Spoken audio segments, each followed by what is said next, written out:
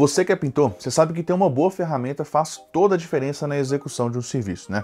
Ter boas ferramentas, cara, adianta muito a nossa vida. Possibilita a gente terminar o serviço mais rápido e com mais qualidade, né? Pois é, então deixa eu te apresentar aqui quatro ferramentas da Tigre. Cara, eu curto muito, eu tenho certeza que você também vai virar fã. Eu sou Fernando Freitas, pintor profissional, e para te apresentar essas ferramentas, eu vou fazer a pintura dessa parede aqui, tá?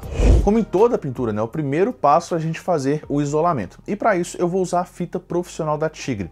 Ela é uma fita de alta performance com tecnologia anti-UV e que pode ficar até 14 dias no substrato sem deixar nenhum resíduo de cola. E com o ambiente isolado, agora a gente vai começar pelos recortes. E para isso eu vou usar a trincha profissional reta de referência 100. Essa trincha te possibilita um rendimento muito superior, porque ela tem mais cerdas, sem contar que são cerdas de ótima qualidade, mais longas e afiadas nas pontas, tá? Que também te dá muito mais controle e precisão na hora do recorte. Uma dica importante aqui, para ter mais precisão na hora do recorte, é você procurar ficar de frente para a parede e bem próximo de onde que você vai pintar. Sério, isso vai te ajudar muito na hora do seu recorte. E para chegar nos cantinhos onde a trincha 100 tem um pouco mais de dificuldade para chegar, eu vou usar a trincha profissional angular 101.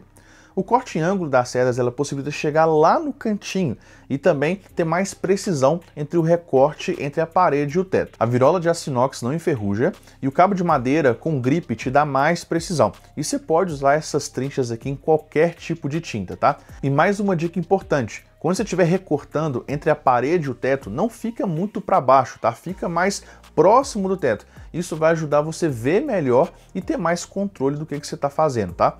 E uma dica extra, tanto a trincha 100 quanto a trincha 101, elas são feitas de cerdas de excelente qualidade, sério mesmo. Então se você limpar elas certinho após o uso, cara, elas vão durar muito tempo, tá? Use água para limpar as tintas de base água e água rasa ou thinner para limpar as tintas de base solvente. Depois, basta guardar as trinchas na posição horizontal dentro da capinha.